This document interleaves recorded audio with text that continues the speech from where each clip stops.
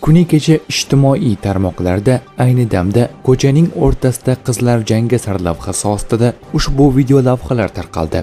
Aytishlaricha qizlarning o'rtasidagi janjalga sabab yigit talash bo'lgan. Holat samarqandda bo'lganligi taxmin qilinmoqda. Hozirda o'rganish ishlari olib borilmoqda. Tez orada batafsil ma'lumotlar berib o'tamiz.